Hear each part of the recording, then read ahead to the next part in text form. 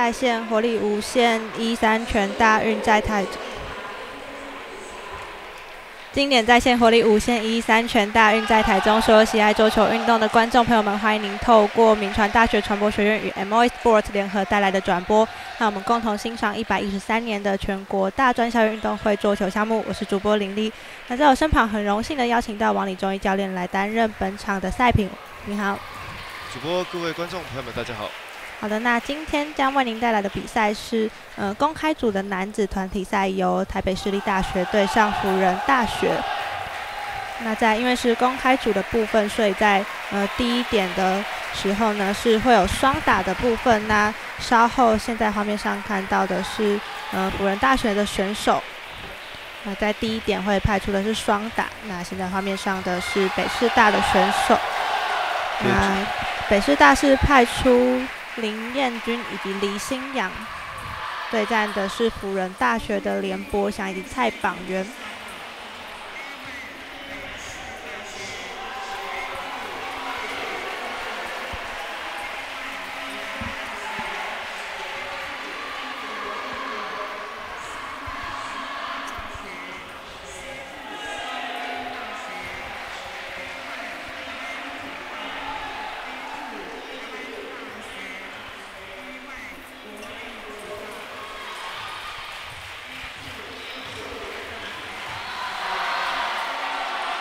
已经是进入到了整个团体赛的第二天赛程。那其实，嗯，上午是在呃整个呃小组这边是已经打完了，那现在已经到了晋级赛。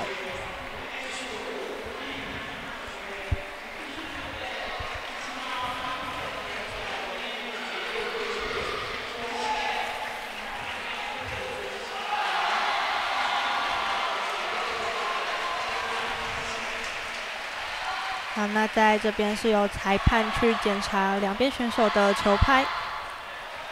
对，因为现在是因应奥运赛制的部分哦，所以就在团体的排阵过程中，就把双打是把它放在了第一点去做进行。对，还是因应去跟国际能够有效去做一个接轨的动作。是，其实，在大专杯改制的部分是在从去年开始，啊，把整个双打是排在第一点，那后面都是。呃，以单打三人的五点制。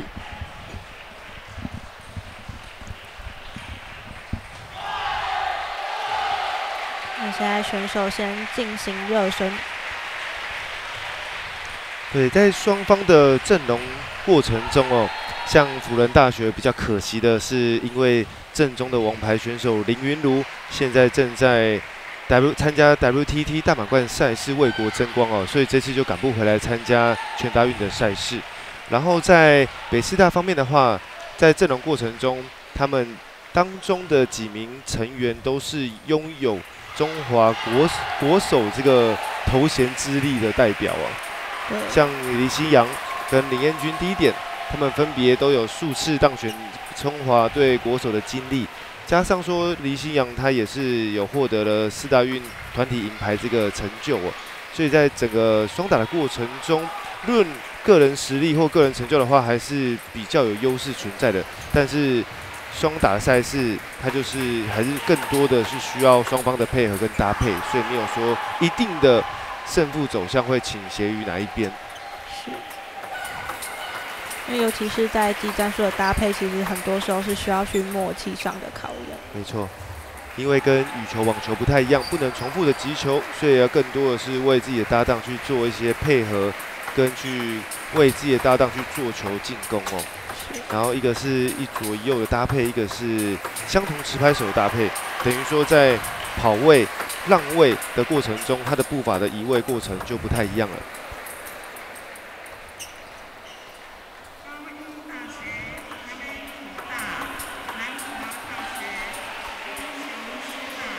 其实，在北师大这边也是连续几年都有拿下我们嗯公开组男子团体赛的金牌哦，也算是呃这一届的整个热门的呃团队之一。没错。比赛即将开始，由连博祥先发球。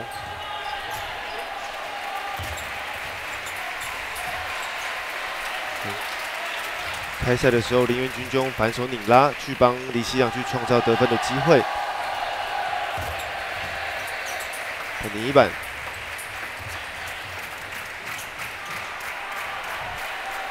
在这两球都还是以拧球的方式去处理。对，还是善用拧拉的方式哦，看争取直接主动上手，正手补板。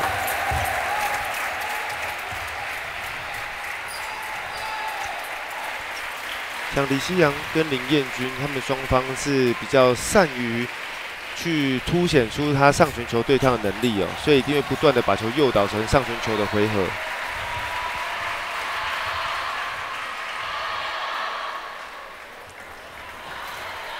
开场人发球，也不断的，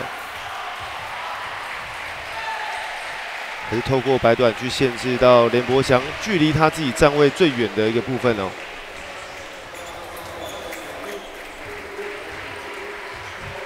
现在比数来到了二比四，李湘发球，发球得分。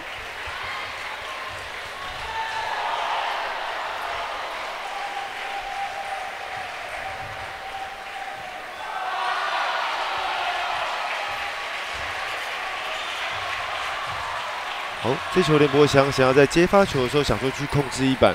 但在接发球的时机点已经稍微偏慢，一个侧下旋，一样是改变不同的球种跟旋转，但林彦君还是擅长凸现在他反手拧拉这个技术哦。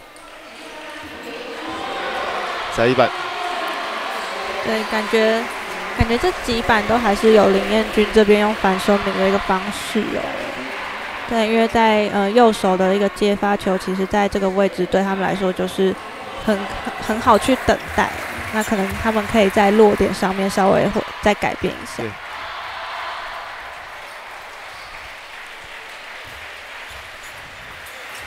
一个反挑，这球虽然挑的非常漂亮，但李希阳也是准备的非常的充分。是，现在比数已经来到了十比二。在这种大幅度领先的情况下，还是有些空间可以去做一些不同的尝试哦，或者就是练一练自己的手感。在第一局哦，北师大这边也是一比三拿下。对，因为其实，在接下来的比赛都已经不像是呃今天早上或是昨天的那种小组竞技制。应该说小组的那种循环赛制，对，那在之后都是以单淘淘汰的部分，那所以呃，在这种时候是更需要赶快进入状况。对，因为先前的话是小组循环赛，所以等于说有些选手或者是排阵过程中可以去找出最适当的组合，但现在已经进入到淘汰赛制的话，等于说绝对都是精锐进出，派出阵中最好的阵容哦。对，因为没有办法，没有筹码再去输掉任何一场比赛。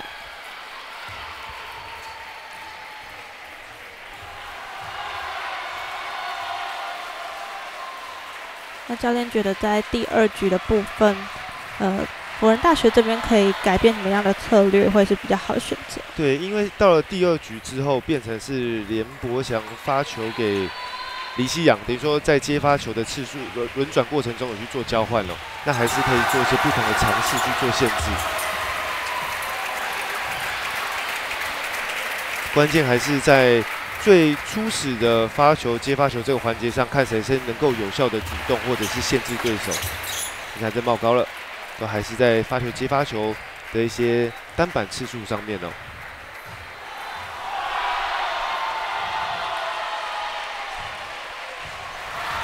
对，改变高抛。对，前面都是低抛的动作，现在用高抛去增加击球的时程。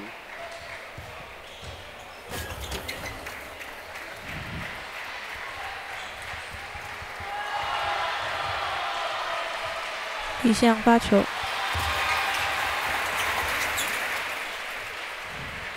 发完还是做个比较不错的预判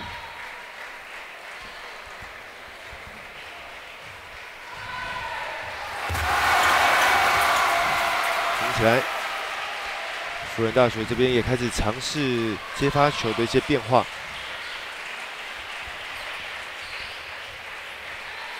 太棒人发球，这边发球得分。那现在由辅仁大学这边以三比四落后一分。顶起来做个衔接。现在目前就是比较关键的是如何透过自己的发球去限制在北师大学的接发球这个主动上手这个空这个环节啊，所以看是透过长短的改变还是落点的改变哦。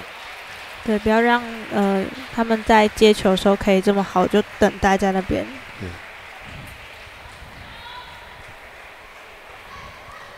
有林彦君发球。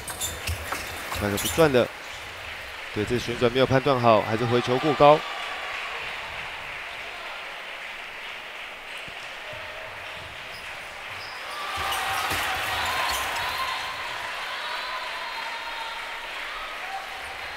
由北师大学以八比三领先。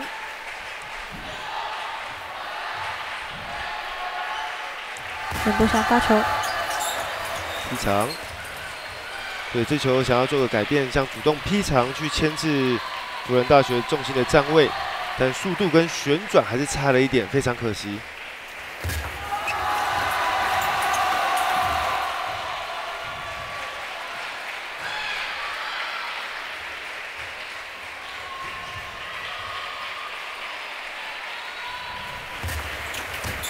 重下旋。对，现在目前还是回归到接发球面哦，想要做个有效的控制，或者是想要做落点的一个配合，但接发球的时机点都还是有点偏慢，所以变成间接就让北师大学的组合有很多上手或者是发力的机会。对，因为北师大其实他们的实力也是在，所以通常这种球一定会好好把握住。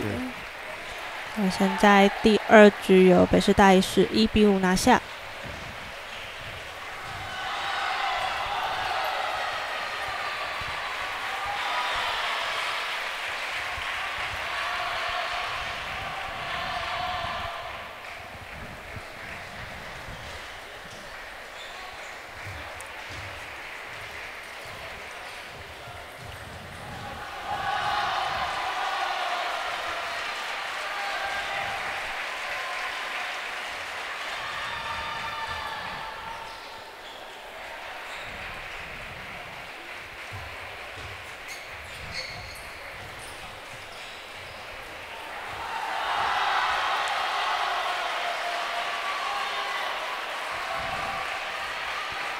感觉稍后在第三局依旧是辅仁大学这边要去再多做一点发球跟接发球的改变。对，像在后段第二局后段的时候，其实他们发球方面的时候，在长短的配合上，想说有去做个配合哦，但是在旋转上各方面的话，可能还要再双方沟通一下，看用什么样的旋转或什么样的节奏。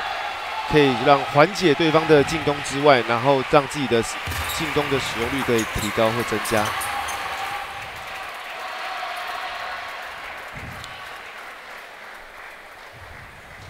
演播想发球，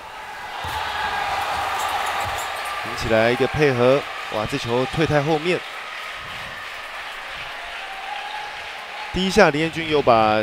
旋转跟落点给施展出来，但第二下在回合准备的时候，李希阳这球比较可惜，是站的离球台比较远。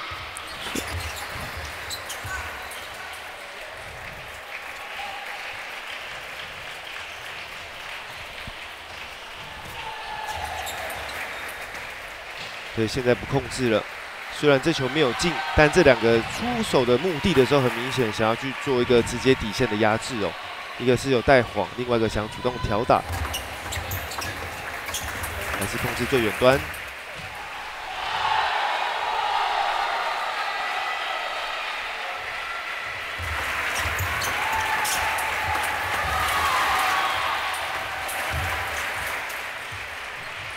这边有北师大四比二。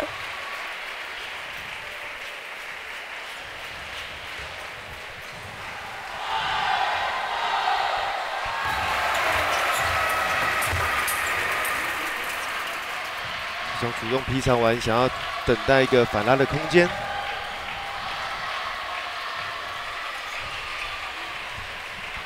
严博祥接发球，中下旋。现在想要去做一个拧。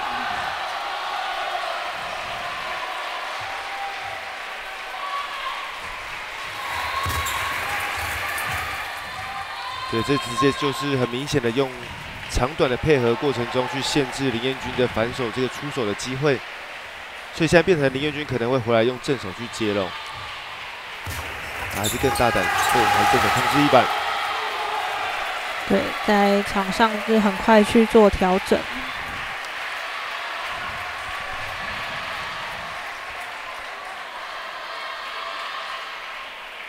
林彦君发球。挑反手位衔接没有做好，因为毕竟双方都是右手持拍的，所以有时候在做衔接或者是多拍回合的时候，就比较容易产生这样子一前一后的这个状态。那如果没有站好的话，就常常会觉得有一方退得太特别后面哦。然后如果说是像辅仁大学组合，他们是一一左一右的配合的话，等于说他们是走八字形。的话，等于说就可以不断的在做前后的一个配合，所以今天比较可惜是辅仁大学组合到目前来说还没有打出他们在站位上的优势，以及他们在短球的控制能力上还是比较受到考验的。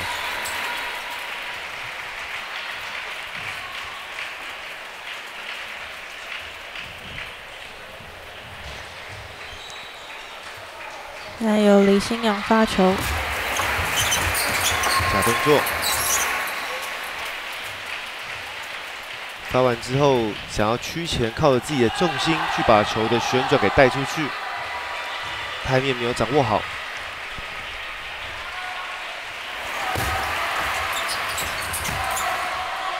嗯，好，这两分发球没有把握住。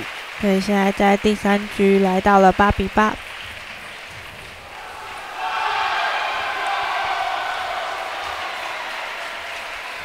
林博祥发球，贴一板直线。这球李新阳已经很有效的把击球的线路贴到直线位置哦，但还是一样，一两个相同持拍手的部分，在同样的落点就很容易产生一前一后的状态。刚多少在回击的时候有被自己的搭档给挡到重心哦。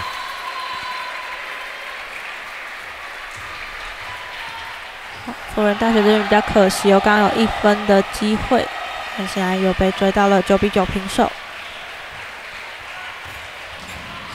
不转的直线的衔接机会，哇，还是推太后面了。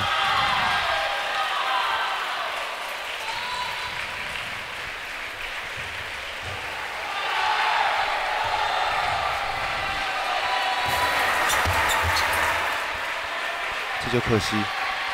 在利用自己的肩膀跟手肘的部分，想要做个假动作，虽然晃到了，成功骗到了对手，但是没有成功的进到球台。逆转的，重复落点。对，最主要是看似连博祥他的主动进攻哦，但这球还是给的太甜了，主动上手，但是给的落点的时候，让林彦君去做个提前的预判。哇，这球没有掌握住。来，比数来到了十一比十一。严博祥发球，向往重发。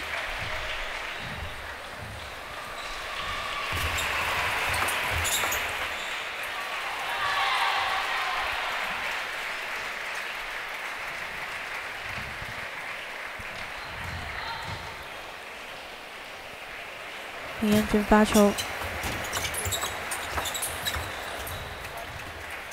在这边有北师大以十三比十一拿下了这一局，同时也是他们在今天这一场比赛收下的第一点。对，在这场比赛的时候，在前两局很明显，关键就是在发球、接发球的发球与跟接发球这个环节哦，看谁先能够主动取得优势跟主动权。到后面的时候，虽然双方做一些改变，在第三局，辅仁大学似乎有出现了局末点，有机会拿下，但到后面。北师大学还是靠着自己出色的个人能力拿下了这场比赛。是，那稍后第二点会对战的是呃辅仁大学的，他们派出美硕对上北师大学的李彦君。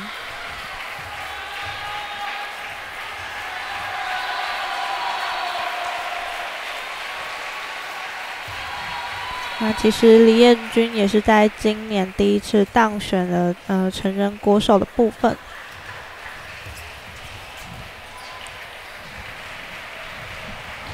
李彦君也是在被网络的媒体好友们是把他尊称为是叫怒吼天尊，因为他打球真的非常有气势哦，然后拿下每一分的时候都会不断的给让自己鼓舞，不断的为自己呐喊。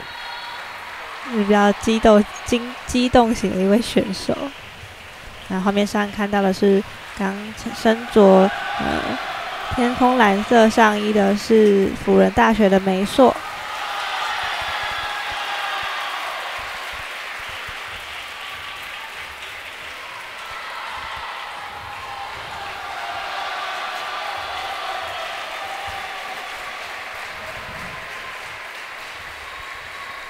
现在名牌是有一点掉落，再重新把它别好。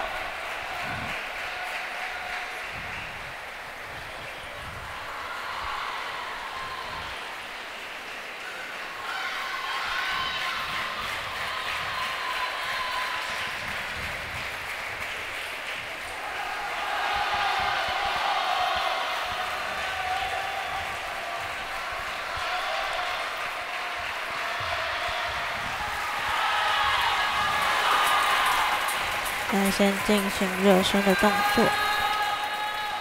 双方打法都是以正手特点为他们的技术一个风格为主哦。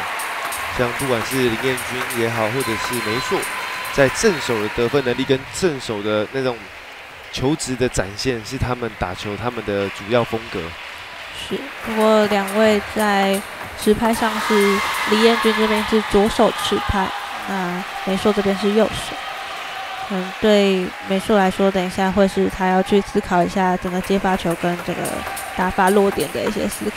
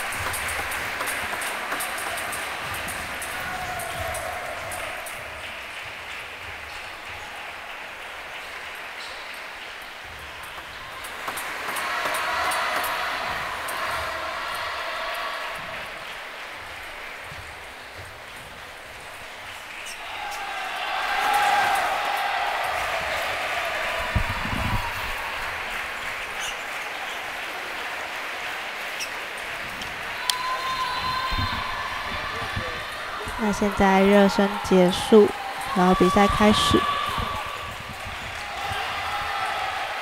首先开局由梅硕先发球，上来先发的仲夏璇。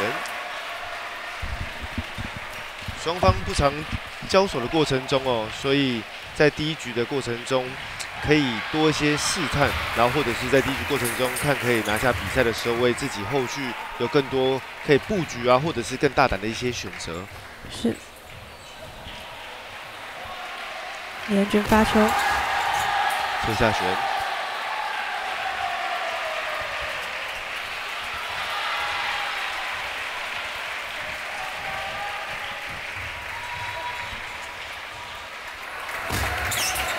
有勾手，看他触球最后一下的时候，有最偷偷的透过自己的手指手腕去往上去做更多的摩擦。所以没说这球被诱诱骗到了，强抢第一时间去做反拉，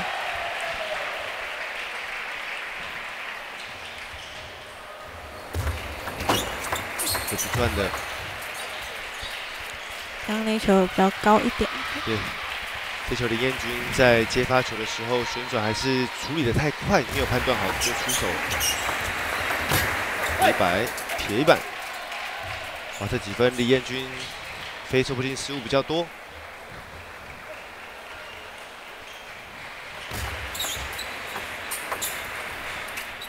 多等了一拍，最后锁定了正守卫的空档。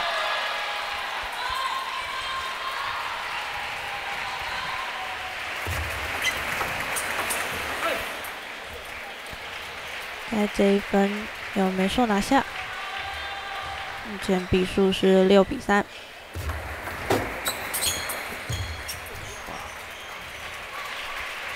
梅硕在第一局哦，一上场之后，不断的想要试图找到机会，就不断的施展压力，一直不断的找寻进攻的机会。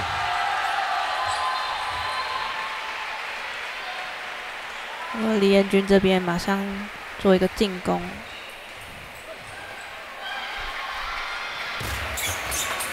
侧上旋。那梅硕今天直接侧身突袭李彦君的反手位。在第一局的时候非常的奏效，但基本上都是防守以下网居多，或者是防守的时候碰网弹网出界，就代表说梅硕他进攻的球质跟弹道非常的深。是，当梅硕也换了一种发球的方式。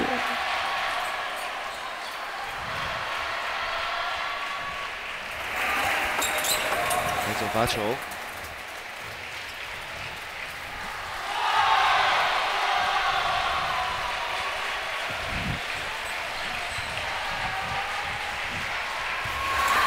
连续发球，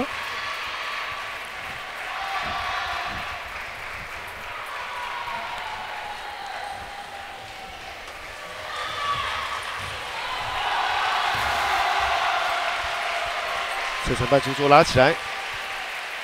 看这球，没错他在防守的时候，他是基本上是借力的过程在防的哦，他没有把手伸出去，所以他把这个节奏跟弧线把它放得非常慢。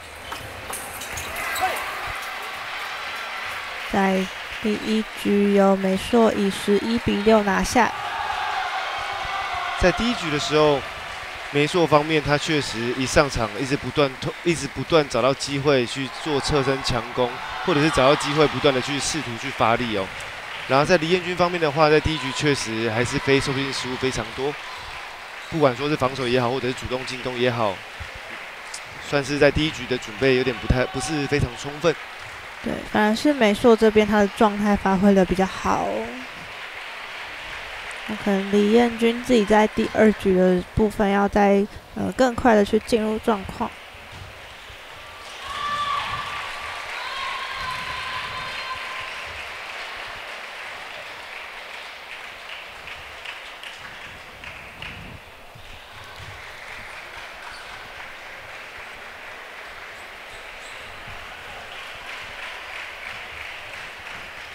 第二局换李彦君先发球，看可不可以透过这一分钟的时间，快速的跟教练去做一些更多的一些技术的配合，争取自己能够快速调整的这个机会哦。李彦君发球，在这边发球得分，一个重下旋，这手长球突袭，哇，这球虽然有进，但是还是非常的危险。这球竟然是直接拉到快接近出桌的这个边缘哦，那由此可见他的手感还没有找到他平时的状态。那这球也不小心有点太高，让美硕这边是来到一个进攻的机会。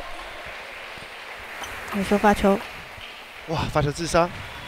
在上一局后段的时候改变这个反手发球的时候，确实发完的时候，哇，正手下一拍马上凸显出来。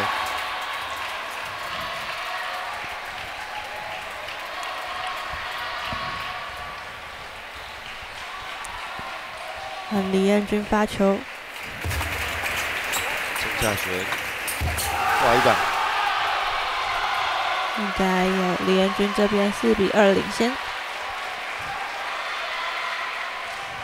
你看双方都是用正手使用的比例比较多，所以接发球的时候就比较站比较偏左侧，就跟前面的几名选我们转播到几名选手就不太一样。如果说你是用反手使用率比较多的，他就可能会比站在比较靠中线的位置。这球还是冒高了。这边有嗯美硕拿下一分。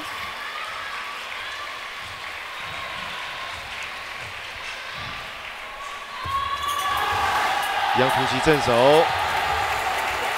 我在这边有先看到美硕他的站位哦，拿去给一个相反的落点。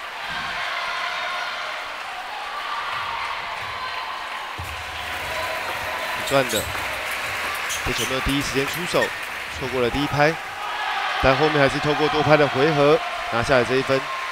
是，现在由李业军这边以七比三。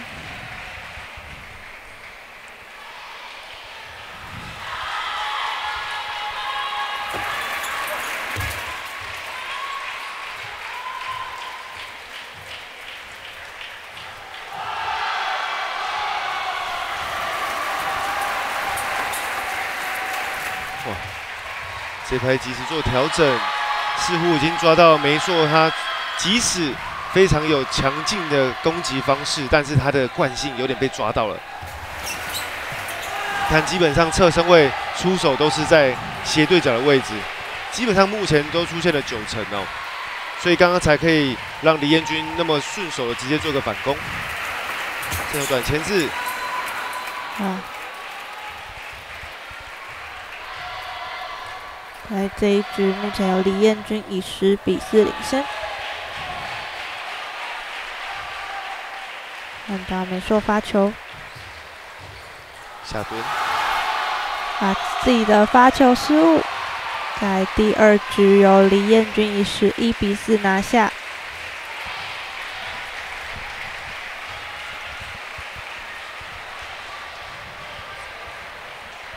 这梅硕还是想要试图透过自己比较多变的发球旋转哦，然后去做一个进攻。但是北师大这边李彦军刚刚前面也提到，似乎面对梅硕他强劲的攻击的时候的惯性有点被抓到了。所以你看他现在梅硕只要一出手，李彦军就是在反拍位去做个等待。所以现在就考验说梅硕在进攻的同时，是不是可以有更多其他线路的选择去做尝试。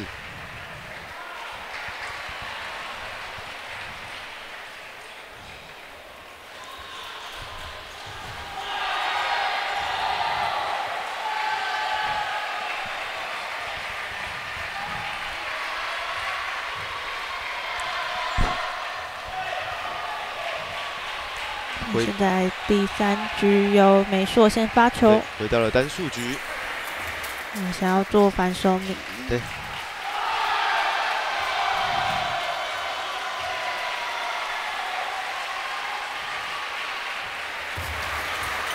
长球，打直线。这球的燕俊很聪明，他知道说这球如果即使扑救过去，还是拉到了斜对角的话，硬碰硬。自己的手感还没有找到，同时还没有找，还没有办法占优势。在多板的来回，由李彦军拿下这一分。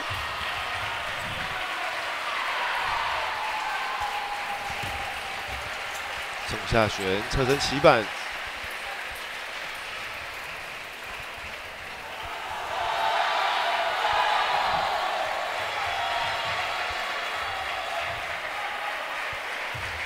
变换发球，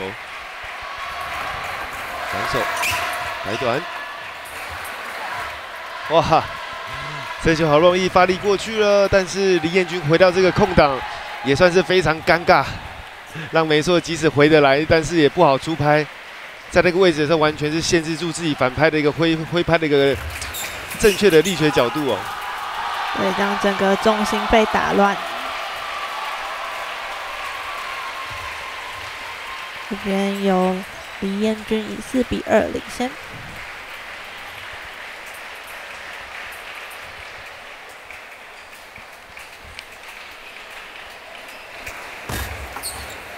侧下旋，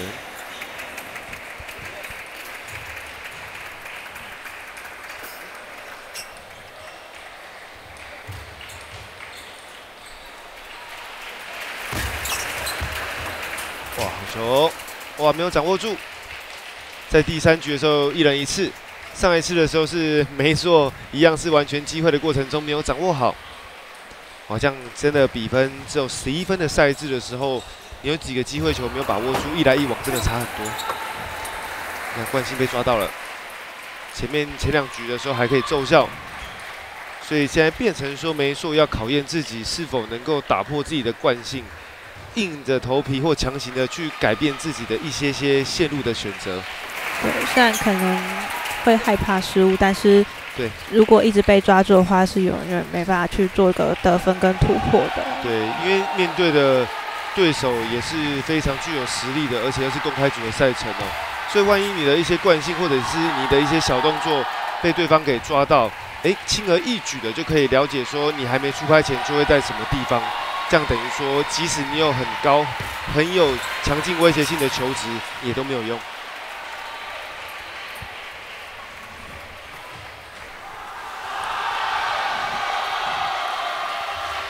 有美术发球，再换回一个发球方式，再往上发。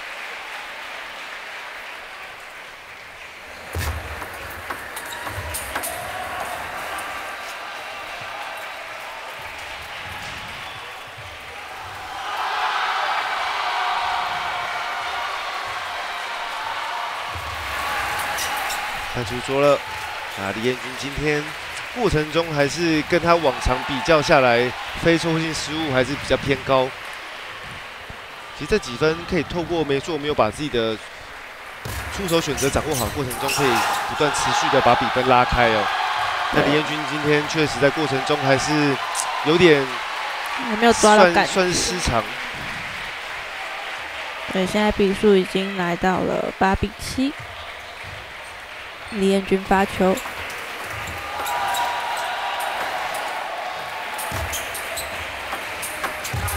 发力。嗯，比数九比七，看到美硕发球，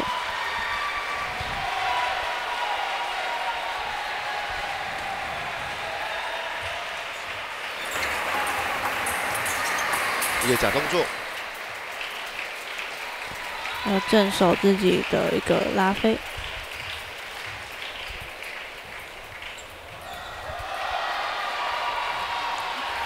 再换成反手，哇，又自杀！可是确实没错，今天做的不错，就是他觉得他自己发球，哎，不奏效了，他就马上去做变化，哎，觉得没有办法诱导出进攻的机会的时候，马上又换下一个球种。在发球选择上，确实变换的非常及时哦。这一局由李彦军以十一比八拿下，那稍后要进入到第四局。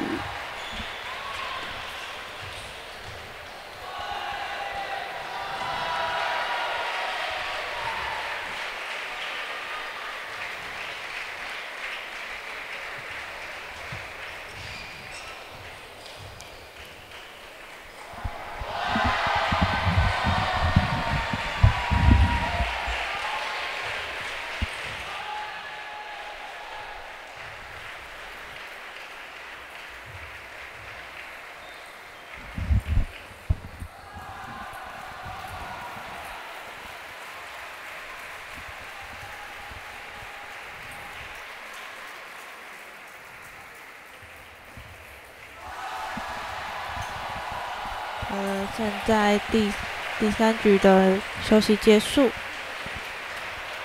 来回到场上要进行第四局的比赛。对，现在就看梅硕方面的话，会不会有做一些更多的变化，或者是意我们意想不到的一些选择哦。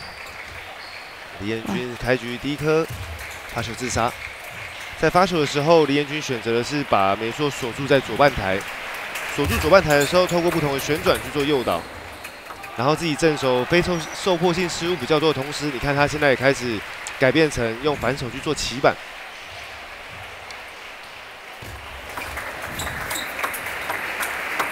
第一板还是在反手位，李彦军这就想要抢高点去做个近台的反撕。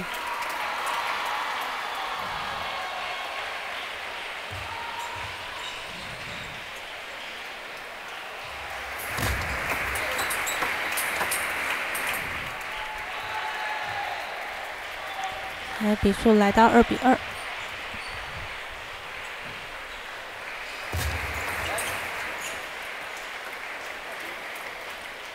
看我重发。拿完之后的衔接没有准备好，最主要是李彦军在前面的时候，都会突然的去牵制梅硕的正手位长球哦，所以导致在梅硕的站位的时候，哎，就有点没有站得很定，就没有说像前面站的这么靠左侧，用正拍去做回击哦，就站的比较中间一点了。连续的正手，这两分重复落点拉得非常精彩，有点连拉带撇的那种感觉哦，把那个。落点打得更开，那比数来到了三比三，啊，梅硕发球，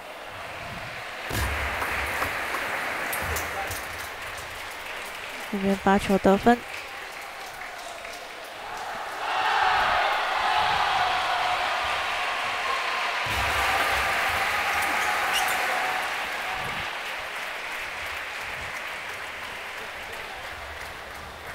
对，那如果说这时候，如同我们转播过程看到的，没错，如果这时候他的惯性的线路没有办法去做改变的话，那就只能在自己的多拍的回合过程中准备的更多板一点，就只能用板数去弥补他的惯性了。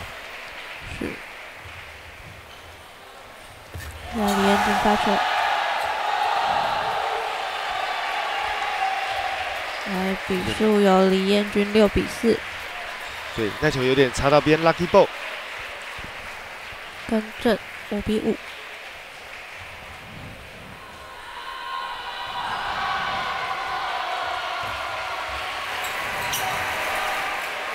对，你看，适当的去牵制梅硕的正手位，确实都可以有效的破坏梅硕的重心。你看梅硕，因为他我们前面看到说他的正手使用比例比较高，所以他等于说他在前后脚的占据就比较大。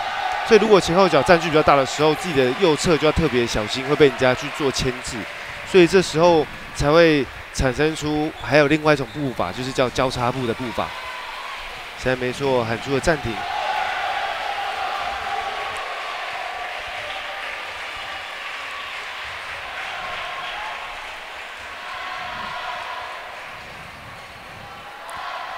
那看美硕在暂停之后，能不能再把比数给扳回？得赶快跟自己的教练沟通一下。但这个时候，教练应该会更多的是在美硕方面，给他在心理层面的一个建那个，等于说先有一些安抚的一个感觉哦。然后先安抚住美硕的情绪之后，诶，再适当的补充一两句能够有效的建议。因为在这时候。原本第一局拿下比赛，到后面越打越弱势的同时，可能在心态上的起伏会比较大。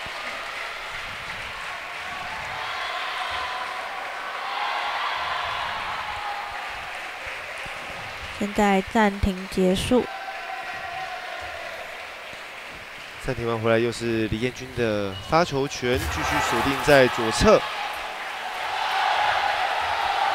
锁定在没错的左侧。然后配合正手的牵制，再加上其他旋转的一个搭配，第二分的发球失误在这一局。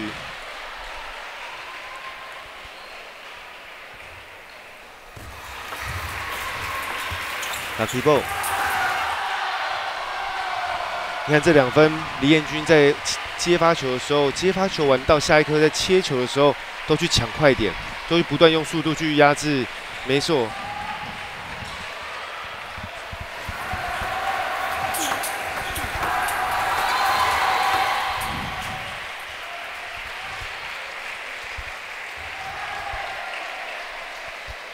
好的，在画面上现在看到的是，呃，我们转播团队和中心大学去做配合的一个运科的分析，落点分析。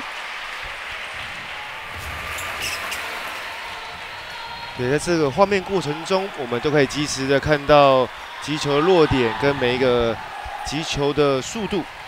这个画面是由中心大学精准预科团队自工系吴主任跟运建所许教授共同研发。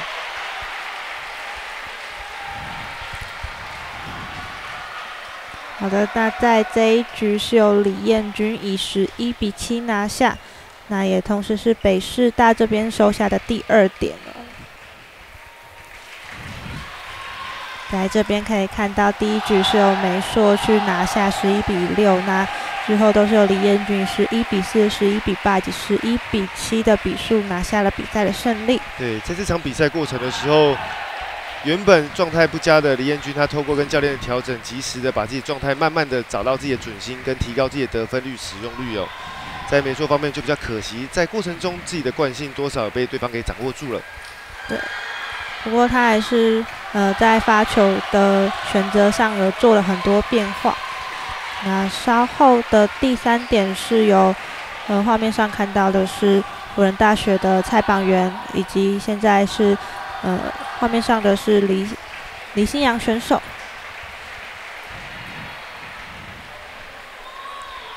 那因为是排点是三人五点制的部分，所以在这边会是由刚刚的双打的组合下去参参赛。对，在这个赛制的编排哦，最主要就是有三个人出赛，在其中两名选手的话，就是负责一单一双的过程，这样就占据了三点。那另外两点过程中，就是由一名选手去支撑两个单打的比赛。到正中第三点，现在这个排阵的过程就可以看出。今天的王牌对阵对方对手的王牌了。画面上看到的是辅仁大学蔡榜元。对，因为在第一点的交手过程中哦，李希阳也是在双打过程中有跟蔡榜元去接交手到，所以等于说双方今天的来球球种跟球质也都非常非常的熟悉哦。虽然非常的熟悉，但是上场的时候还是要按按照惯性，要热身个几分钟，互相去做个适应。对，因为刚刚是双打的部分，那现在单打就更可以展现个人的一个实力。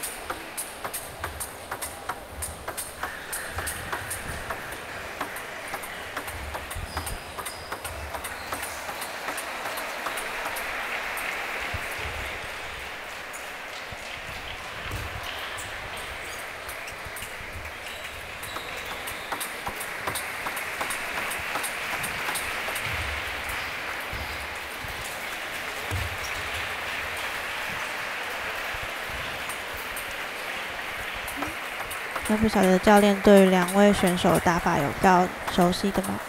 对，像李相选手就是正反手两面非常的均衡哦，但尤其是在自己进攻的同时过程中，不要看他个子非常的这种矮小，但是他出手力道各方面爆发力是非常非常的惊人哦。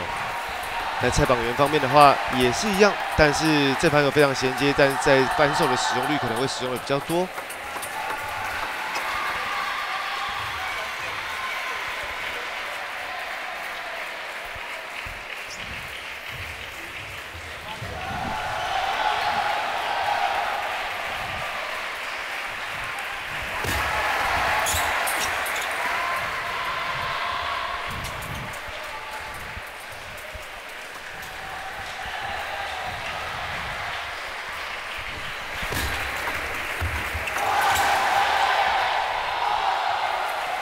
在第一分进攻中路追身，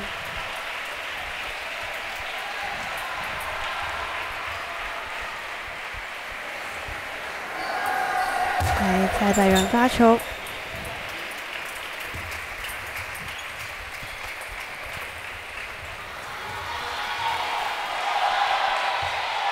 左手右侧选到正手位。对，李希阳最后两拍反手去刻意去加高自己的旋转跟弧线，也就成功的把整个被动的局势给扭转过来。李希阳发球。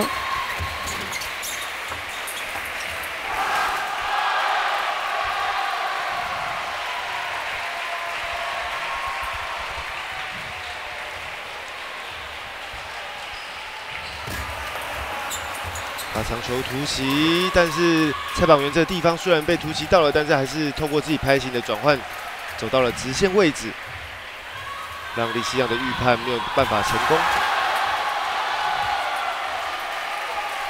连续的得分，目前蔡榜元六比一领先。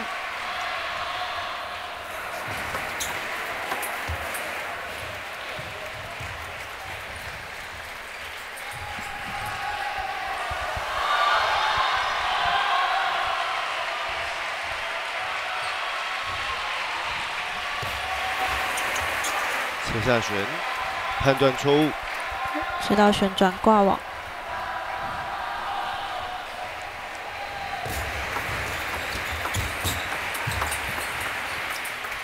对，李希阳这时候在回短的时候有刻意击球的侧上步哦，在回短的时候有效的把旋转改变成侧上旋，所以诱导出自己下一拍反手可以进攻的机会。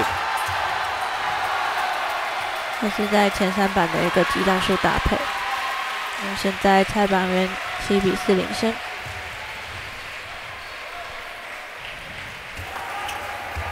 这球短球。走直线完下一拍退得太快，看今天李希阳站位都站得比较退台一点了，所以很多球都是挂网的比较多。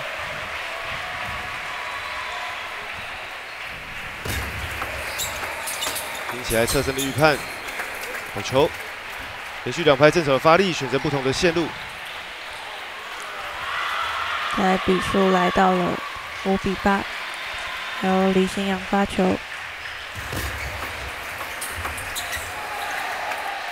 啊蔡榜元还是试图尝试做改变哦。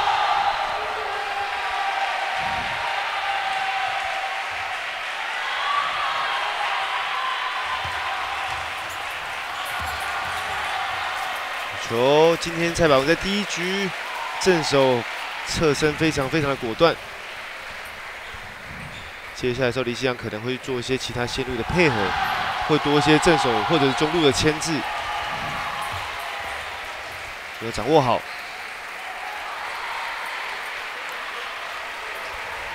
来李新阳以七比九。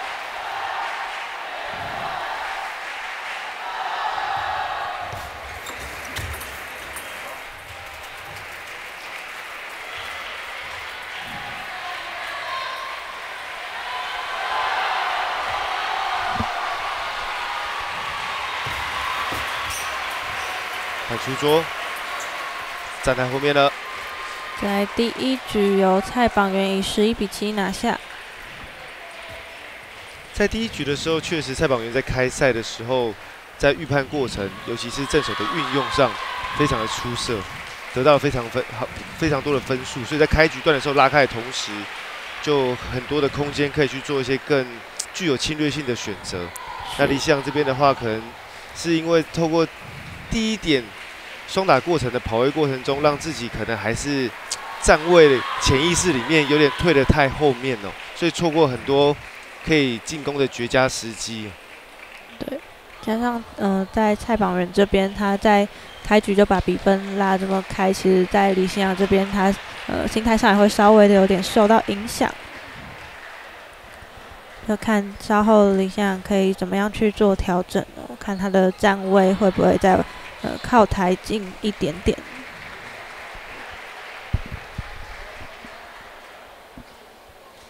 那现在休息时间结束，第二局将开始。呃，蔡榜元发球，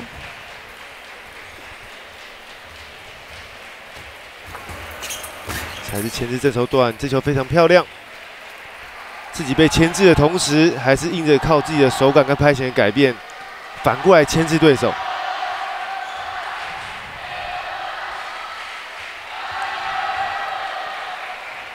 这拍李希阳改变了节奏，完全是蔡榜元的机会哦，但是没有掌握好，非常可惜。李希阳发球，算不算在正手位？对，你看李希阳出拍完的时候，哎，可能都会顿一下，顿一下哦。就感觉说他可能对于比赛用球跟球桌的弹跳的时候，今天好像没有掌握的太好，感觉一直感觉抓不到最好的甜蜜点。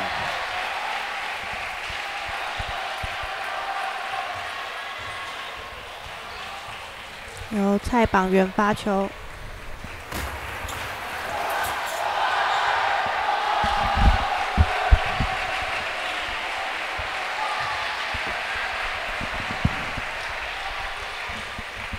来，蔡榜元二比三。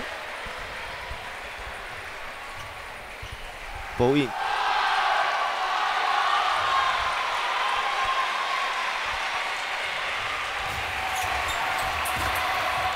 哇，这几分连续接发球都是给的太甜哦，旋转没有判断好，硬性的想要控制，但就回球都是比较偏高的情形。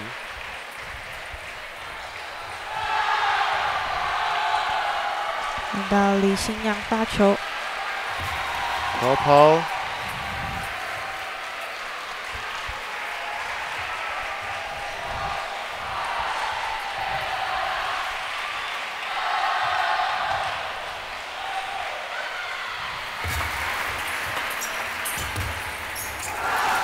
对，相较在心态上的话，我蔡榜元他可能比较敢去搏杀，或者是心态比较平稳，敢去拼哦。但是黎希阳因正常来说的话，可以借由团队现在目前大比负大比数领先的这个优势，不断的去继续的给蔡榜元施加威胁，去不断的去挑战他的一个比较被动或者是比较平淡的是心态。不过他可能心态上还是觉得自己在呃第三点目前已经输掉一局了，所以压力还是比较大。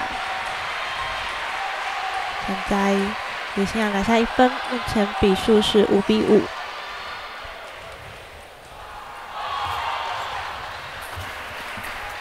好球！透过自己发球的假动作，发一个不转的，下一个马上看到对方拍形朝上，就屈前做个调打。侧上旋，一长一短的配合，连续争取到两分的得分。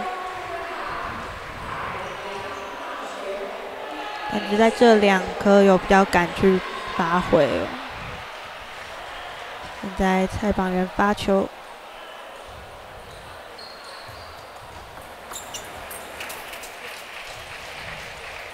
对这球击球的弹跳时机点似乎有点跟自己想象的不太一样。但是还是重心脚下步伐欠缺了一步哦。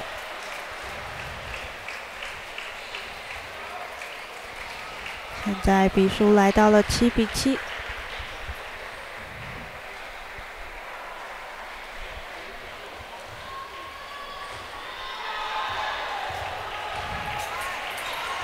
中路中追，中路追身被压迫的同时，还是有效的透过自己的节奏把它放慢下来，去拉住。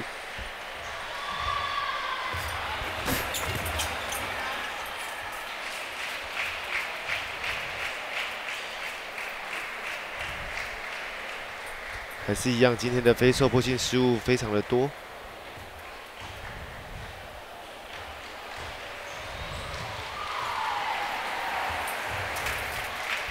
那个旋转上判断失误。对，基本上都是在接发球的时候哦，就打完之后，哎，自己会顿一下，打完之后自己会愣神一下哦，就感觉今天好像是在接发球的准心啊或弹跳的时候，没有办法跟平常一样有效的去很自如的去。依照自己的想法去做出手。是，现在蔡板人十比八，有危险发球。好球，借力借旋转去拉开更大的步伐。来，蔡榜元还有一个局点。对，这时候蔡榜元应该不会去把球拧起来了，试图的去做控制，不然直接大胆的去做劈长。现在追到了十比十。进入 deuce，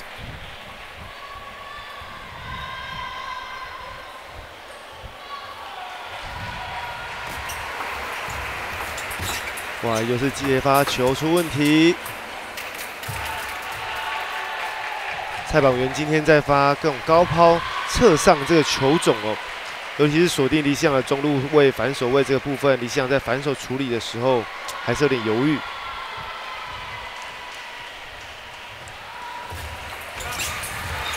球突袭，下一拍衔接没有做好，是在第二局由蔡榜元以十二比十拿下。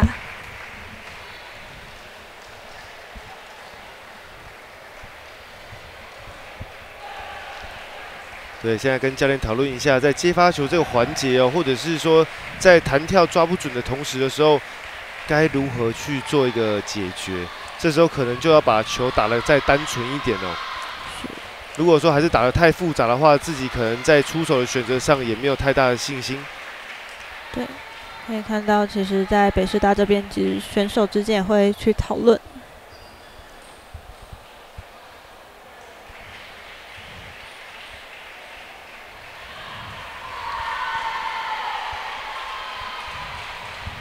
不过蔡榜元在这边，他的刚教练所说，他的发球还是可以呃持续的去控制到李新阳，那到稍后可以还是可以继续用这样的方式。对，我相信还是不断的会用这种侧上旋啊，或者是不转的这个球种哦，去锁定住李希阳的短球的空间，然后再试图的去做预预判，然后找到自己侧身的一个进攻的机会。是，有李希阳发球。所以这时候可能李希阳在出手选择上，就可能不能像以往一样一直不断的去做发力哦，可能就是今天过程中，或者是命中率不佳的同时，就要先以旋转为主，或者是用落点更巧妙的落点去取代他的力量今天的失误性。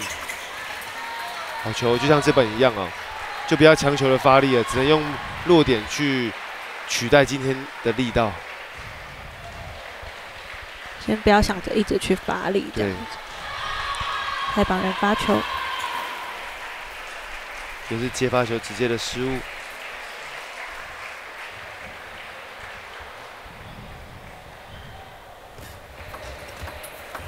起来贴一板，对，通常这种。平时自有点失常啊，或者是自己惯性的，或者是自己的风格打不出来，或者是说一直不断的飞出受迫性失误的同时，就可能把一切重简，或者是把一切打得越简单越好。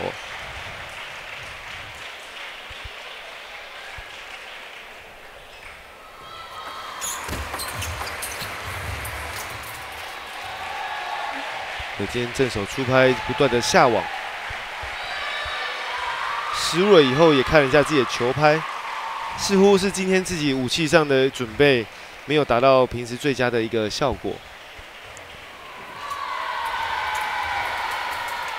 呃，查到网带，那在现在第三局由蔡榜元五比三领先。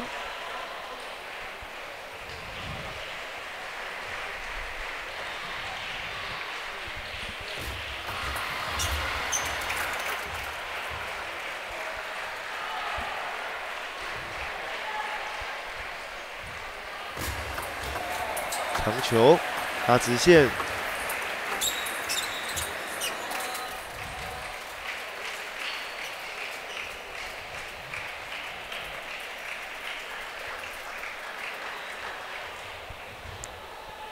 在比数来到了由蔡邦元六比四领先，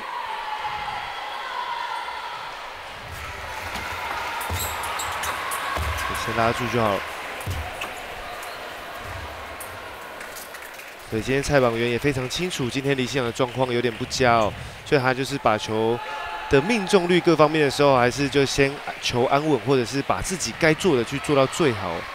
是，现在这边北师大师叫出了暂停。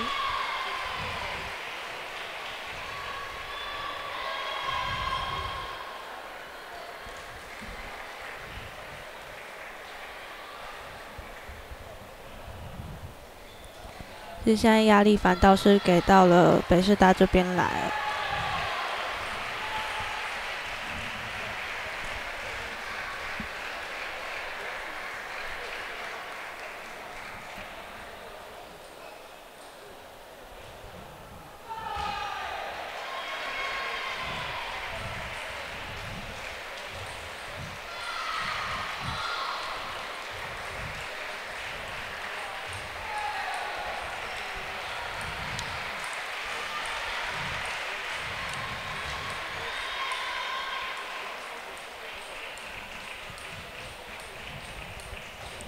现在暂停结束，选手回到场上，比赛要继续进行。这边是轮到蔡宝元发球，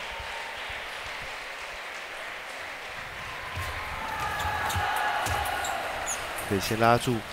看蔡宝元今天非常聪明，也不去硬拼，就先自己提高自己的命中率，就先拉稳、拉转。李新阳发球，现在李信阳可能会多打一些比较有经验性的一些出手选择哦。把他网带。那李信阳这边暂停回来之后，连续追了两分。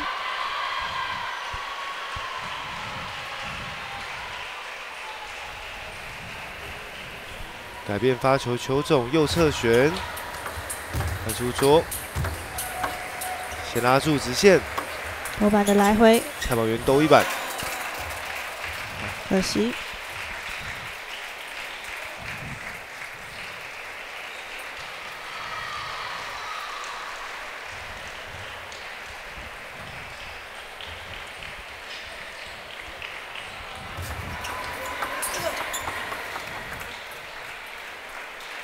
这球蔡榜元在领先的同时哦，这球出手的选择就比较大意一点。在上一拍发球的旋转的时候有点不奏效的同时，应该可以再换回来前面他使用的这种侧上旋的这个选择。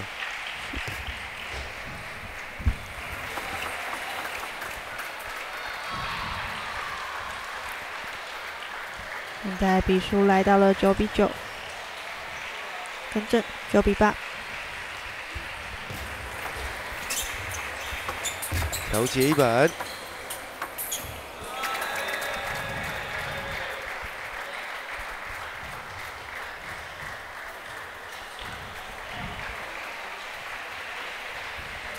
目前李信阳连续的追分，啊，目前来到了九比九平手。对，这个时候就看蔡榜元是不是就像我们前面提到的，他会把他的发球换回原先比较占优势的这个左侧旋这个选择哦。然后李江这边要特别注意自己击球的时机点跟选择。哇，这球保守了，想要先把球先求稳过渡一板，但是蔡榜元还是用正手锁定了斜对角。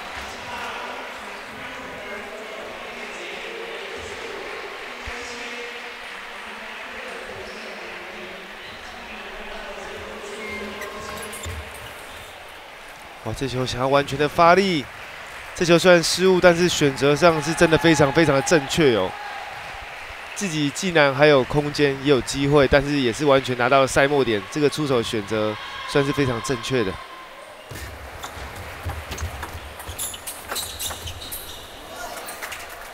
反拉之后下一板还是站太远，没有跟进。是，现在有蔡榜元十一比十。这边交出了一个暂停。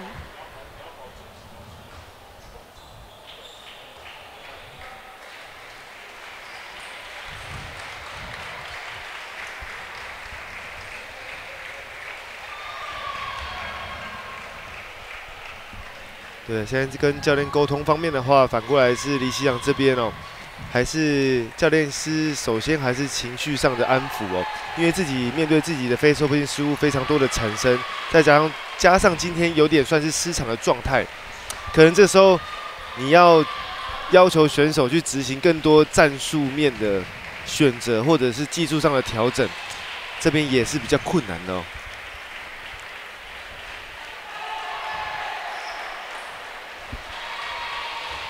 现在暂停时间。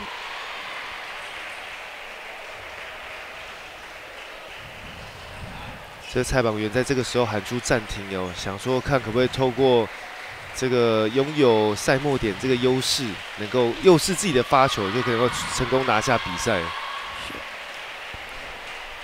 因为在这一局如果拿下的话，才可以将整个比赛再继续延后到第四、第五点。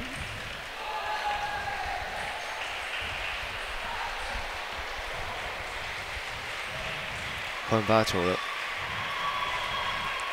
隔壁的球弹过来，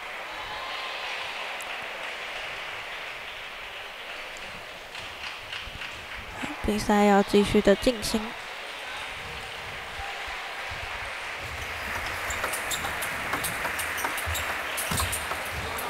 好球，这时候还打得非常坚决哦。这蔡榜元这边也是算是不断的给予侵略性哦，在加快了自己的速度，但这拍李希阳还是展现出他自己该有的特色，改变发球的战略。可惜今天的手感一直没有找到。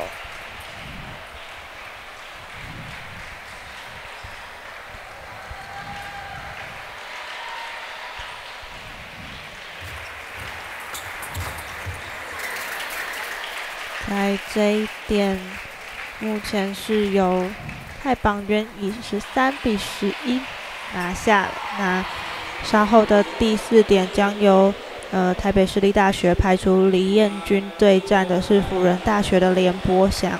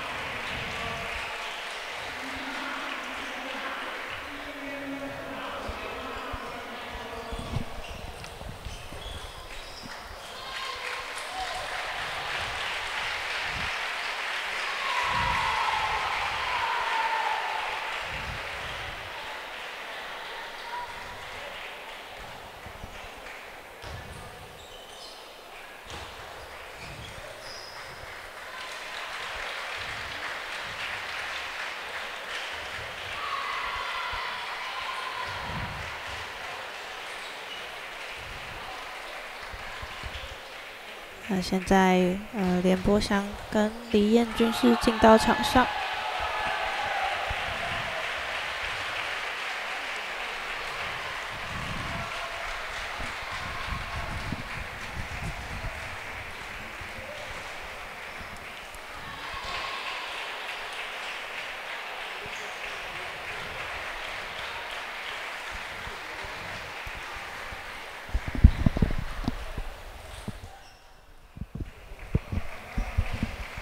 因为刚刚在第二点的部分，李彦军也是呃，只有一些失误出现，那希望他在第四局的时候可以赶快调整。那连波祥这边是呃第一次由单打这边出赛。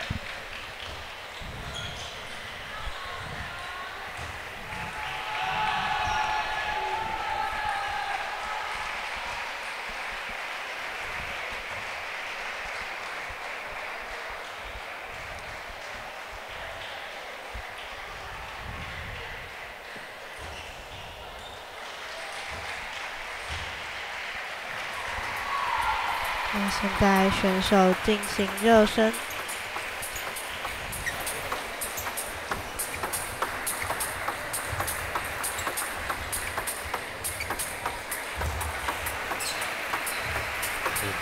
双方虽然前面出战过了，但还是透过这短暂的练习时间，去赶快找到自己的手感。在第二点的过程中，我们看到李彦军，他原本上来的时候，可能在热机的过程比较慢，慢慢的透过长时间的回合的时候，才找到自己的状态，慢慢的提升起来哦。但林博祥的话，他上一场是因为出战的是双打的比赛，所以等于说他在单打出赛过程中的话，诶，也是要快点的去适应单打这个比较快节奏的一个回合性。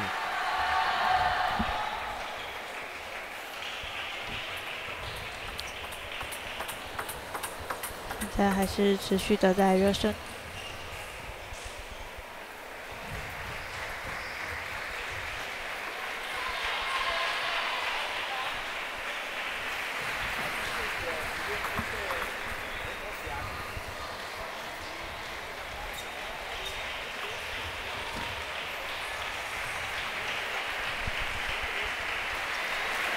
强发球，慢摆一板。对，我们在双打过程中，我们看到的是林博祥在接发球这个环节以及短球处理这个部分的话，一直不断的会被对手去做考验，所以就看在双单打的过程中会不会好一点呢？是，现在比数来到了一比一。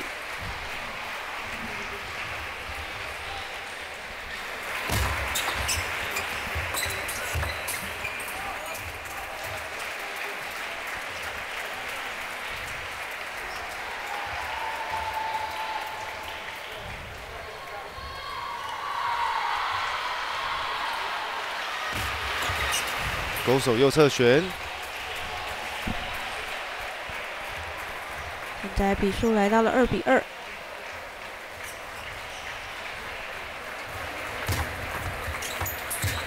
慢摆板，哇，这球林波强没有掌握住。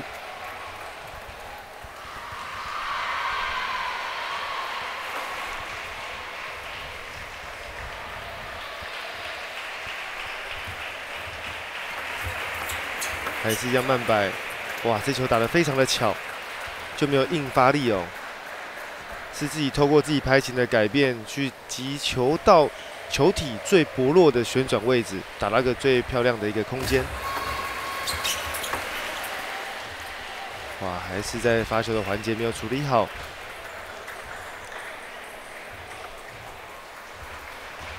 所以比赛双方最开始的开端就是在发球跟接发球哦，所以在这个环节上真的非常非常的重要。但是有些选手可能在训练的时间上面哦，还是把基本功看得非常的重要，把最比赛最根本的一切的发球接发球的时速，没有说很有效的纳入在自己的训练时间里面。对，但其实发球接发球也是很需要训练以及经验。而且多技战术，如果在前面一两板没有去打出来的话，也很难再去延续发挥。打完之后，正手的补板。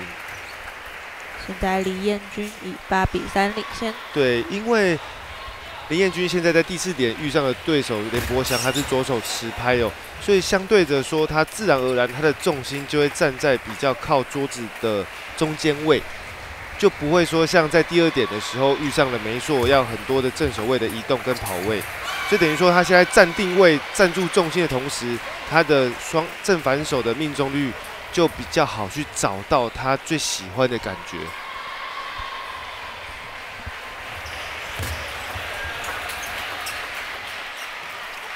现在李彦军十比四，出现六个局点。反手的发力，在第一局由李彦军以十一比四拿下。对，就像刚刚提到的，现在发完球之后，遇到了左跟自己不同持拍手的对手去做抗衡哦，所以发完球之后，等于说相对的重心站在比较中间的同时，赵连博强就要逆向思考，可能就要给予李彦军的中路位再多一点，或者是说再给他的重心调动再多一点呢。一样是不要让他可以这么好去等待去接球。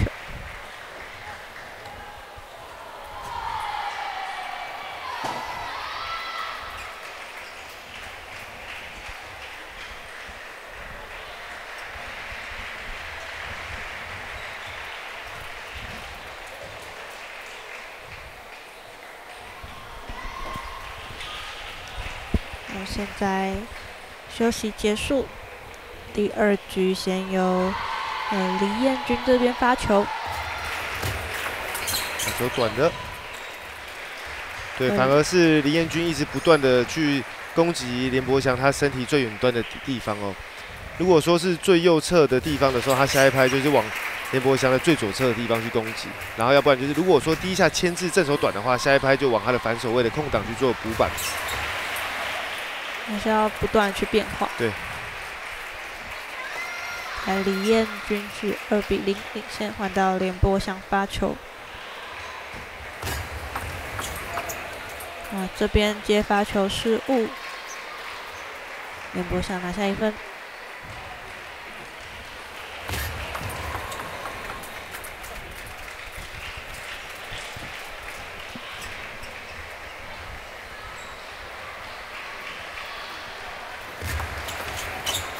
断的，以长球做牵制，然后就是让连博强不要在接发球的时候去能够过来用反手去做弥补哦。你看连博强基本上就不断的诱导连博强用正拍去接发球、接短球。那如果说他想过来用反手去做改变的时候，就做一个长球的牵制，就是逼迫他一定要用正手去接。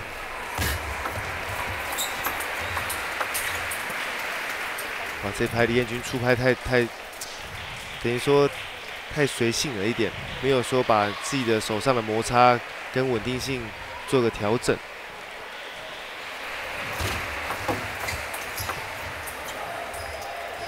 在这边连波上连续两分，现在比数来到了四比四。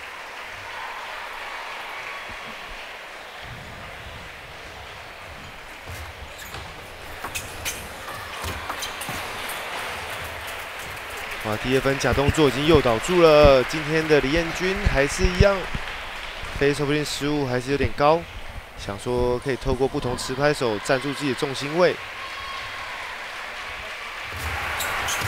中下旋，欧板来回。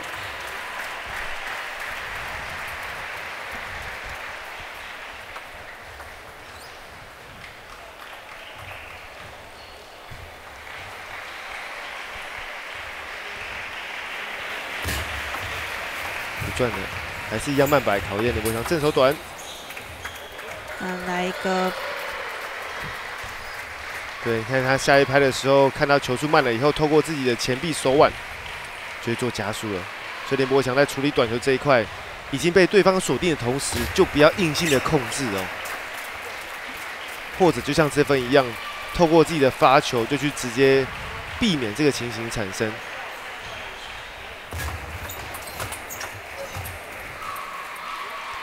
这边李彦君拿下一分，总比数是七比六。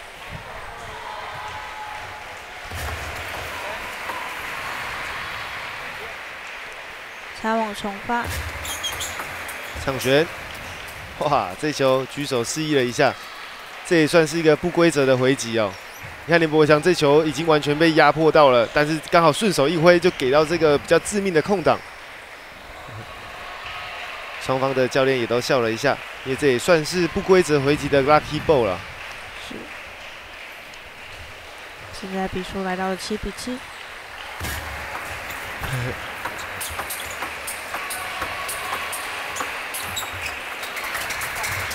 对，你看在比较有趣的是，你看林博强在发球前的时候，林彦君还刻意跑到右侧去看，就代表说他发球就他完全隐蔽性，让林彦君完全看不到。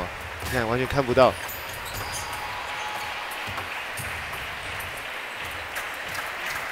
因为有时候确实是非相同持拍手的时候，发球基本上是站在同一个直角，所以等于说在触球那一下的时候，很容易就不小心会透过自己的肩膀啊，或者身体部分的话，会隐蔽到你触球那一刹那，让对方看不到你来球的摩擦。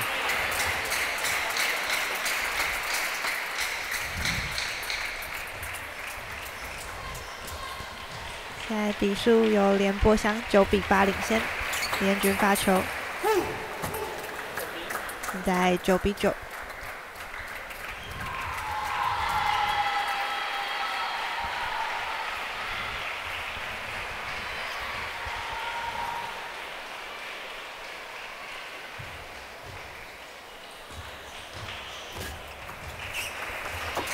啊，一个假动作，原本骗到了。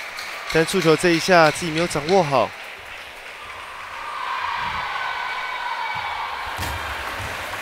一个侧下旋，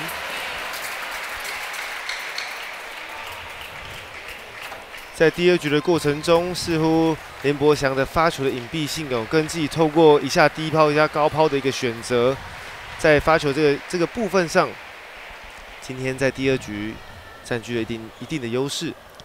是，也让辅仁大学这边拿下了一局哦。目前的局数比是一比一。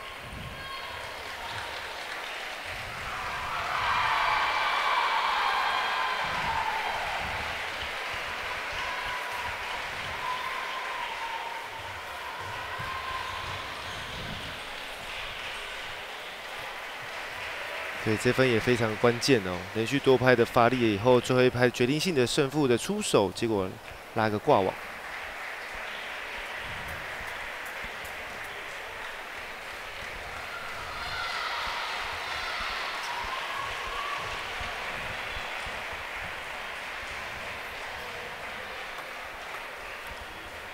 在第三局开始，由连波向发球。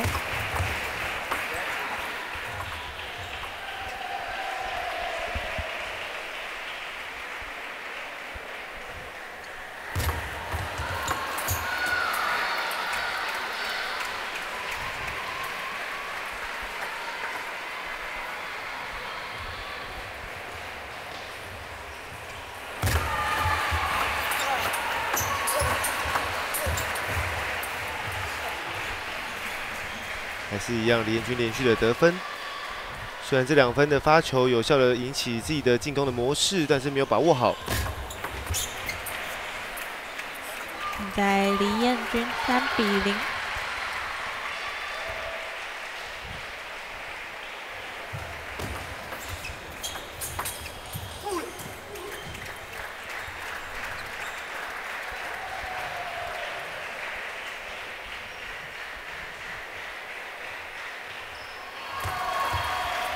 直线。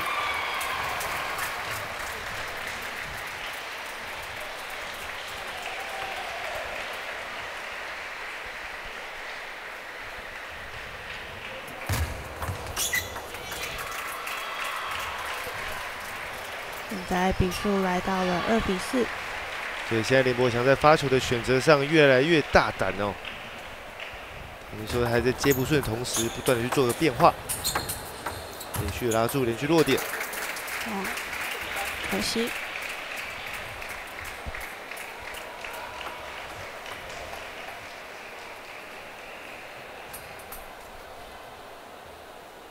改变站位。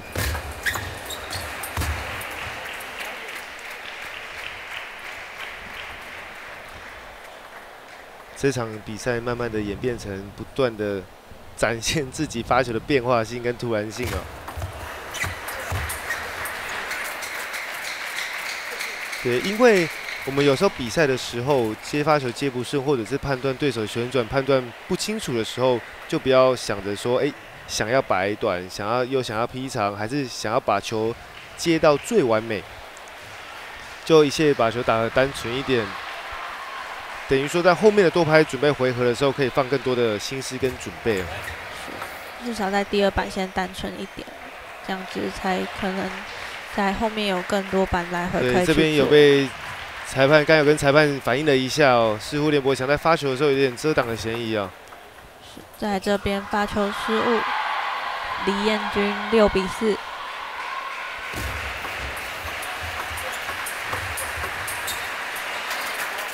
啊，多板来回最后不小心插到网袋。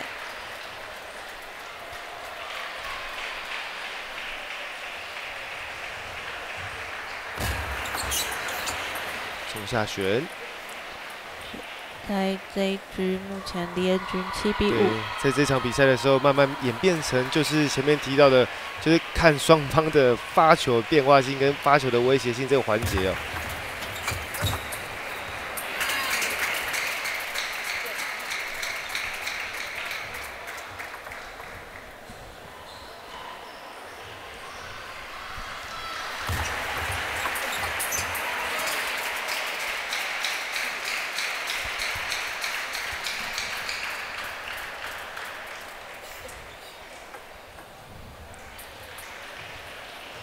在连我想是把比数追平到七比七。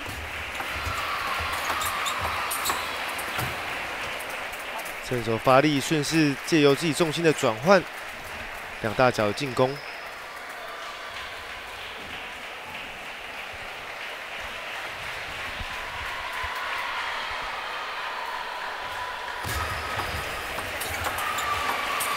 还是一样。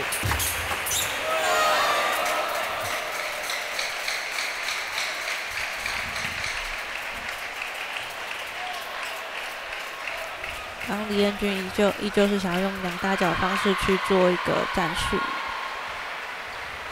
也不想发球，想往重发。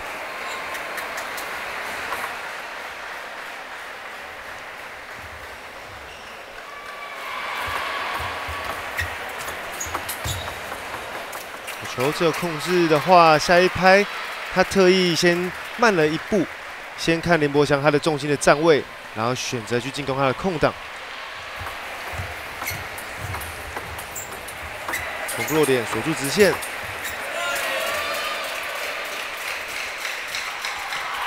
目前比数九比九。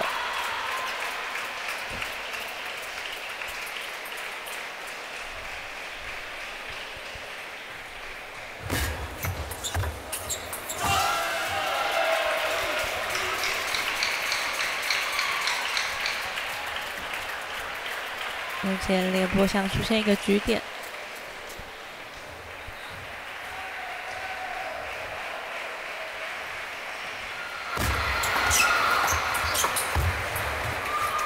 这球李彦军就完全的走个安全牌选择去体现他的旋转跟落点还是拉的非常的小心哦。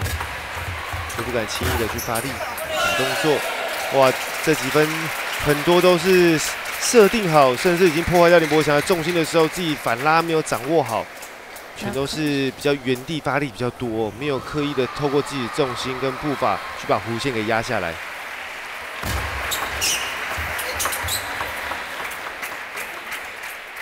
在嗯十一比十一，对，双方节奏还是打的比较快。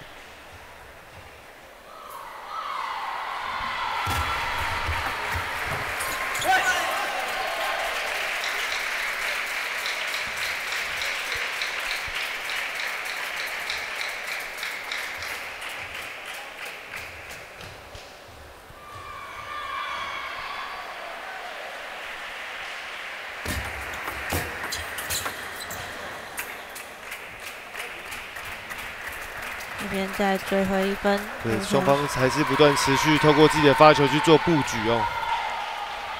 这时候就看谁先犯错误哦。这时候犯下错误的话，绝对这场比赛的天平就会做个明显的导向。台网重发，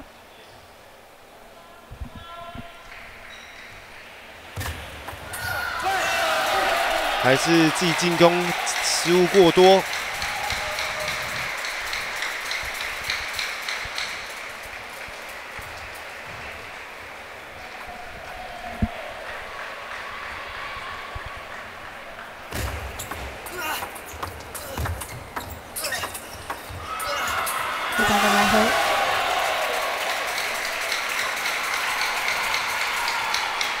这边由辅仁大学的连波翔以十四比十二拿下了这一局，他目前的局数比是由辅仁大学这边以二比一，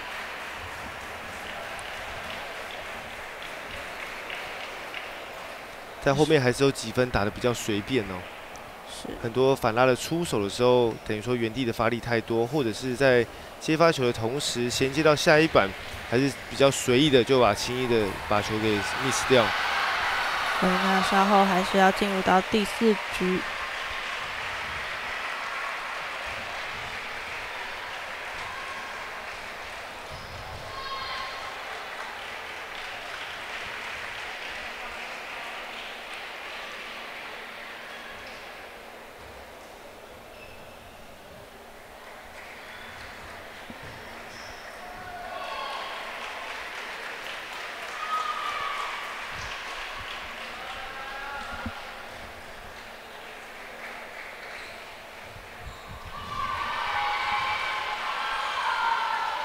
第四局，李彦军的发球，前面几分发完球之后，自己的进攻有点太随意，或者是轻易的失误。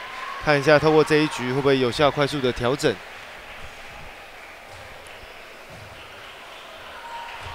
打个不转的，多等了一拍。现在第一局有李彦军。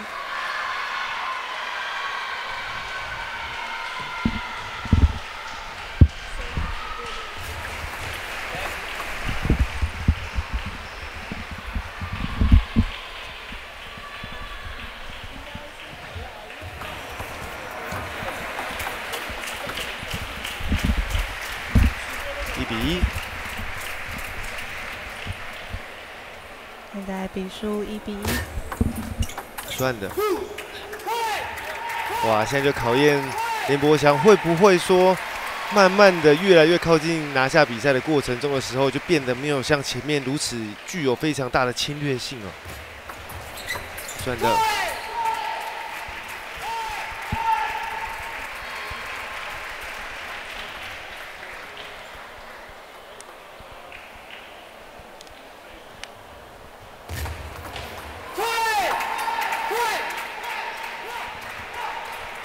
对李彦军，他的风格大家都非常清楚哦。他如果打得很闷，完全没有声音的话，他的风格就没有办法展现出来。因为他的打法也比较偏向是人来风行的，所以前面我们在第一点、哎第二点的过程中介绍到他，就是不断的会透过自己为自己的呐喊去提高自己比赛的气势。就是要赢球，气势要先出来。对，最主要这场比赛还是在接发球的过程中旋转判断不清楚，没有办法有效的为自己的选择去做布局，打得非常的懊恼。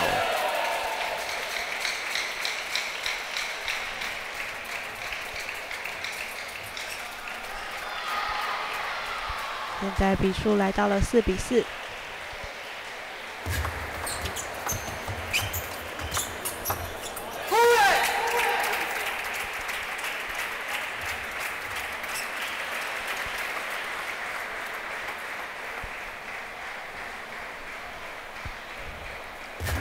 李彦军发球，重球一板，增加自己挥拍的轨迹，去把球的旋转加的非常的转。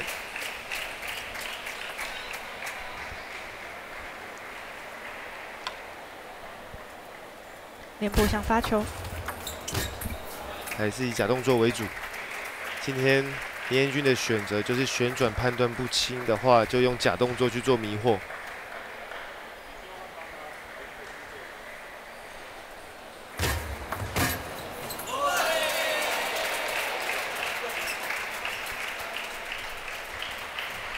这一局的比数一直在蛮僵持不下。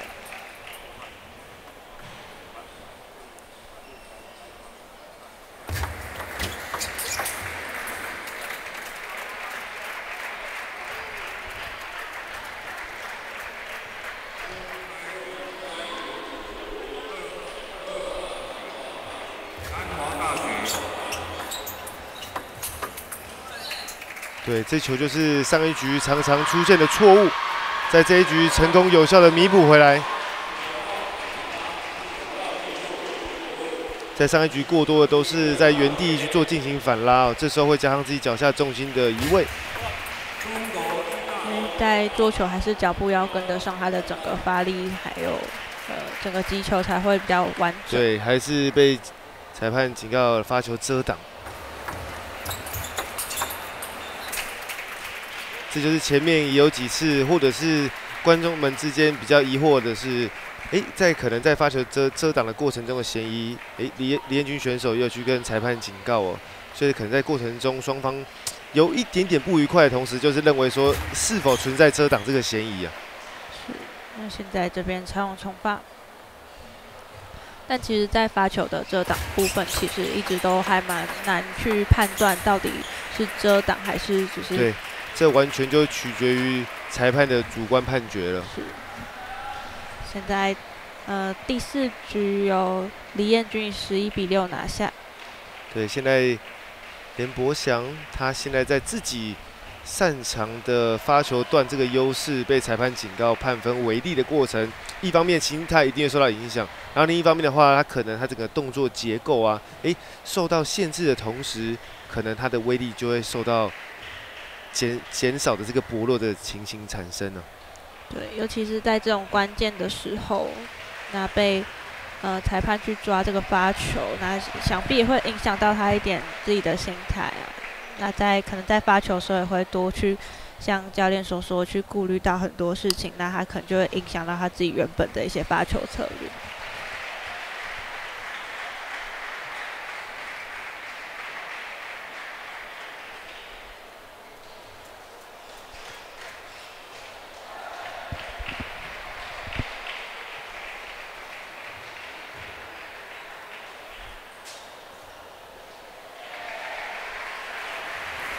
第五局，面部上发球，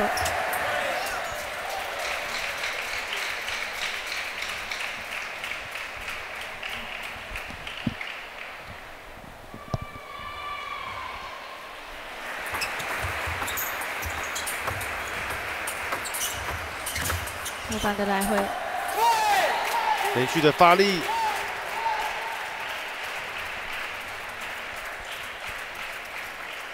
十一分的比赛一来一往，你失误一颗，可能就是变成说是两分的差距哦。所以前面如果说在第一局、第二局的时候，林彦军的反拉或者机会球掌握度如果掌握好的话，可能自己状态不会到现在还没有调整好。那李彦军再拿下一分，全比数是二比一。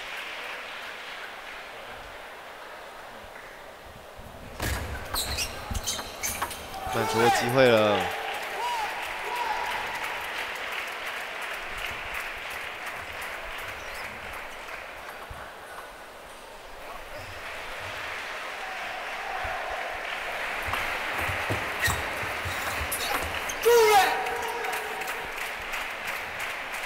在第五局开赛前，跟主播您提到的哦，确实在我们比赛的过程中，自己的发球动作被裁判判违例，甚至到了罚分这个情形哦，会影响到整体的动作结构，会觉得非常的不自在。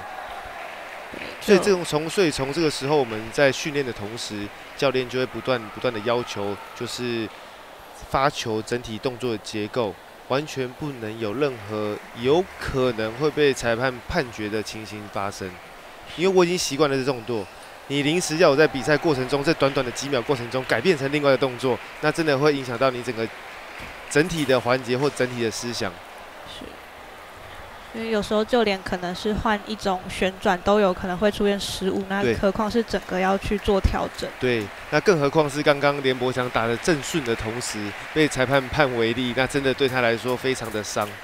对，那现在呃暂停结束，选手回到场上，比赛要继续进行。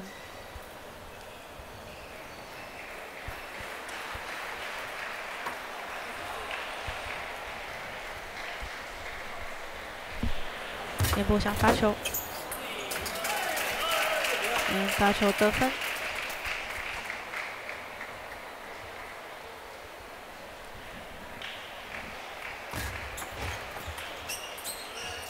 哇，这球强行侧身，在自己的发球选择上，可能就想的没有不够仔细哦。他觉得想说发完之后可以诱导出绝对的机会。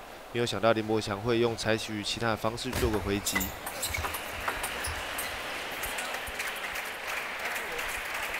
李彦君拿下一分。在第五局的，对，到了决胜局的时候，双方有一方到达五分的时候，就要进行场边的交换。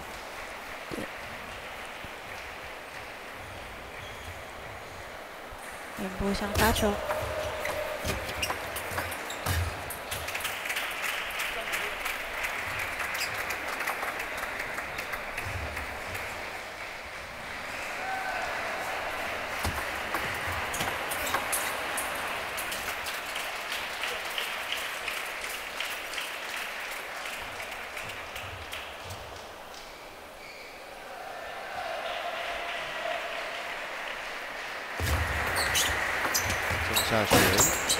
住了，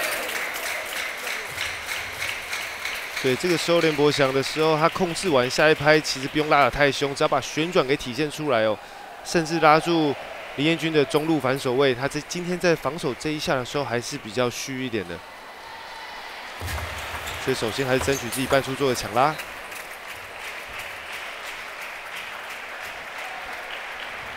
在李彦军七比五。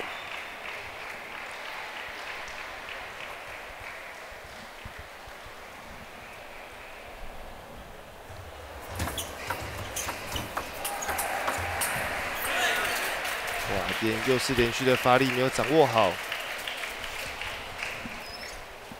今天辅仁大学在目前转播到现在的场次过程中，在机会球的把握以及在连续进攻性的一些掌握度的时候，反而命中率是比较高一点的。我说，相较在机会球产生的把握度。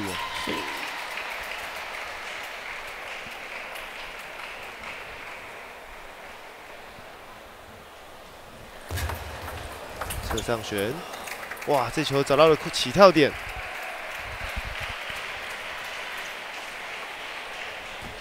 李彦军发这个球种，等的就是这个。只能说林博强掉到陷阱里面去。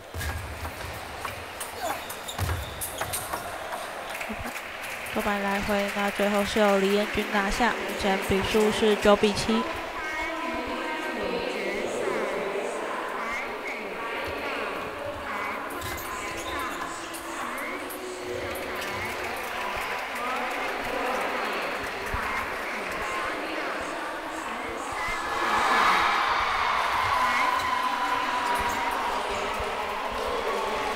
这分比较可惜。李彦军现在有两个局点。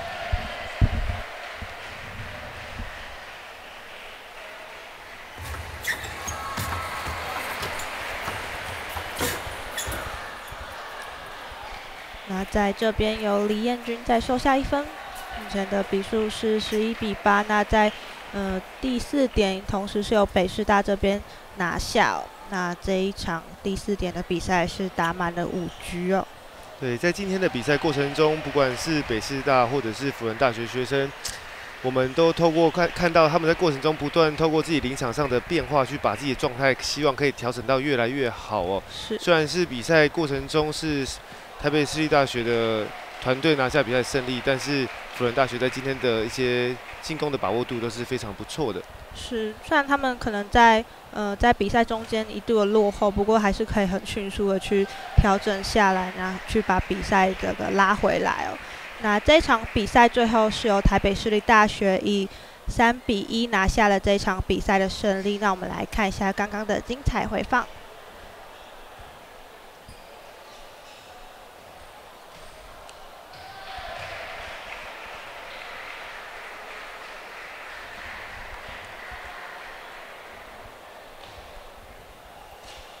好的，这场比赛已经结束了。我们再次的恭喜台北市立大学以三比一的局数比收下了这一场比赛的胜利。那谢谢教练来到现场为我们讲评。那今天的比赛都已经结束了，谢谢你的收看，我们明天再见。